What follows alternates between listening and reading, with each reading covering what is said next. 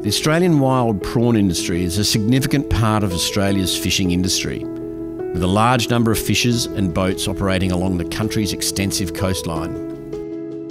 15 sustainably run fisheries operate to catch an array of wild prawn species in locations from the far north of Australia to the Spencer Gulf in South Australia.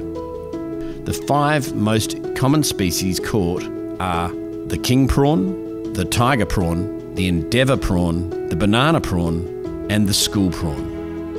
Elusive species such as royal red prawns, coral prawns, and deepwater scarlet prawns can be found in small volumes.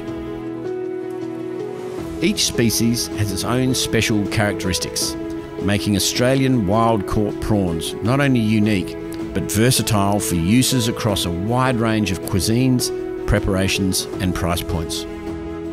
The exact amount of wild prawns caught in Australia annually can vary from year to year, but averages around 20,000 tonnes. 30% of the catch is exported, with the largest markets being in Japan, Hong Kong, and Vietnam. The industry provides employment for thousands of people and contributes significantly to the Australian economy.